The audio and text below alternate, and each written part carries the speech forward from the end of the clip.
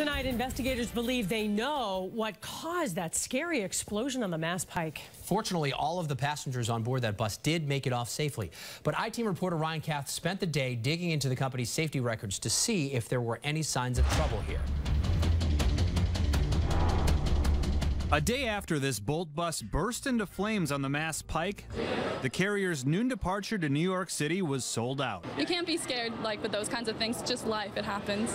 Brooke Carabas booked her trip after hearing about the fire, but still didn't hesitate to reserve a seat. The fire doesn't make me nervous because the bus will be more safe moving forward, I think. I think Bolt Bus will double check the mechanics.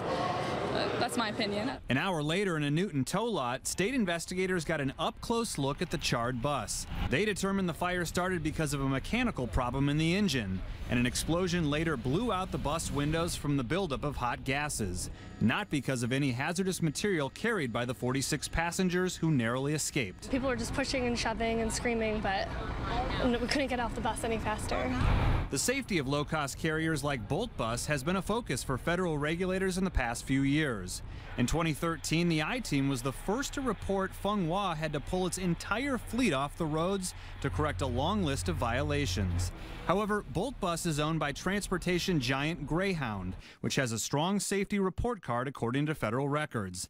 The I-Team found Greyhound's entire fleet has an overall satisfactory rating and no serious violations in the past two years.